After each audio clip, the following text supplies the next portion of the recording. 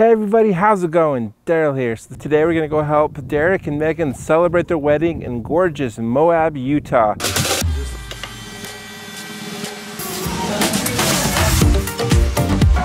Today I'm not bringing the trailer, I'm just packing everything in the car. As you can see, everything's packed pretty tight. But yeah, it's four and a half hours away, so let's not waste any more time. Come on, let's go. Megan and Derek's guest list is small and the crowd is a little bit older. The couple specifically requested to not have a club vibe. So I'll mostly be rocking oldies and classics tonight and laying off the strobes for the lighting. Alright, just made a quick pit stop, you know. It's a long journey and about halfway through and about halfway more to go, so let's keep on going. The local populace of Moab is quite small, so it is quite common for vendors from nearby towns and cities to come over here for destination weddings. All right, we've made it to Moab, but our journey is not yet complete. We're going to La Sal Mountains National Park. It is a different vibe than the Red Rocks uh, Arches National Park, but it is still gorgeous nonetheless. And that is where our wedding venue is, Whispering Oaks Ranch, and here we go. All right, we made it. And tonight's couple aren't Utah locals, but they fell in love while visiting here and they want to share the beautiful, gorgeous landscape with their closest friends and family. And I'm packing light, so I'm leaving the totems at home and I'm using these much more portable gravity stands. Alright, so a bunch of you have been asking like how do I mount these movers on top of these totem poles.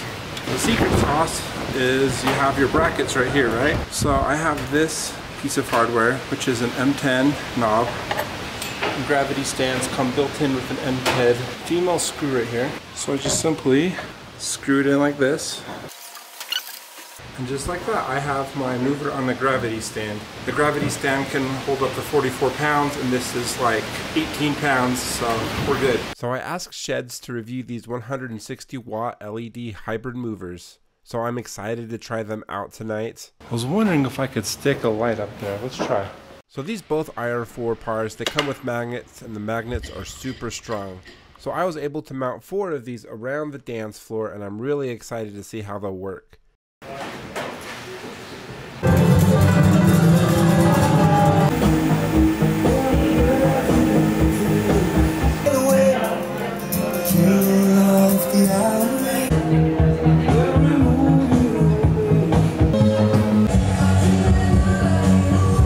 Course, tonight I am using SoundSwitch. SoundSwitch just gives me the flexibility of automation while being able to manually control it sometimes when I feel like it. Alright, I'm all set up for the reception, so now let's go to the ceremony.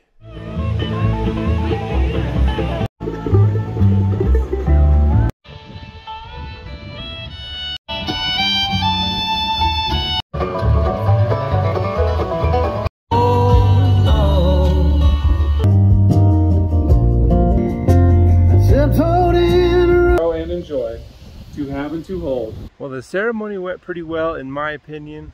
It was very windy, but the microphones seemed to do decently. I mean, I think it could have been better. Could have had a better wind filter, but the one I did have seemed to serve adequately well and it was a small intimate ceremony. I think everyone could hear it. So no major glitches. That's probably one of the scariest parts for me as a wedding DJ is doing like the wedding ceremony. So now it's time to take a breather, play some background music for the cocktail hour. It's gonna be a great rest of the night.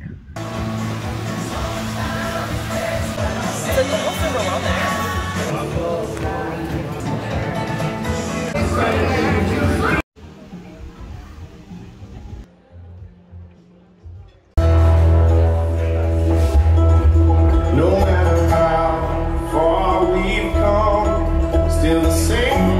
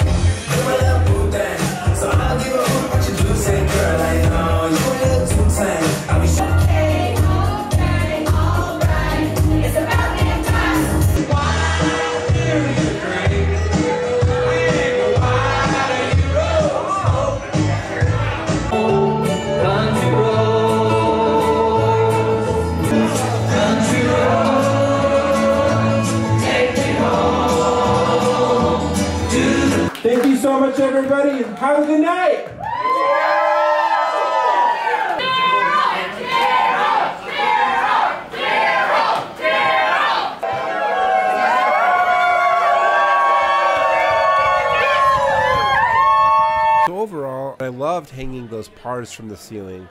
Lighting from multiple angles isn't always practical at different events, but when you can, it is an incredible effect. Megan, if you're watching this, I totally forgot to hit record on your video review, but thank you for your kind words. So this was my first gig with these new movers from SHEHDS. I feel like it would be better to showcase these like at a different venue just because of like how the ceiling is here. But they are extremely inexpensive, only like 350 bucks a piece and they boast some impressive features.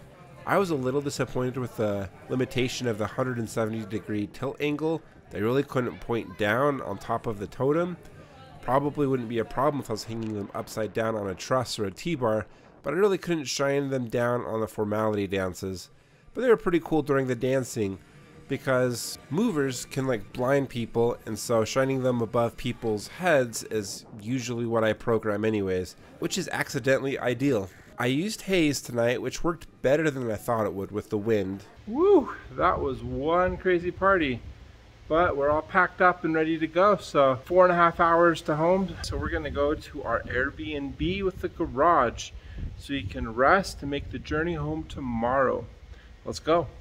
So motels are significantly cheaper than an Airbnb, but you know, the Airbnb gives me peace of mind to have like an enclosed garage so I can just have my gear in here and I can just not worry about anything happening to it. So that's why I always tend to try to get an Airbnb when I'm traveling out of town. Sometimes it's not possible and I usually don't sleep super well on those nights. All right, well, I'm just here at my Airbnb. I'm all packed up and about ready to go. This Airbnb is awesome. It has like three bedrooms and like so many beds. In the past, I've stayed in this condo area and I brought my entire family. We made it like a little vacation, so that was cool. But today it's just me, so I'm eager to head home and yeah, I slept soundly knowing that all my gear and my equipment was sleeping safely inside a garage. Well, thank you so much for watching this gig log. Leave those comments down below and please smash like and subscribe if you haven't already. And I'll see you in the next video.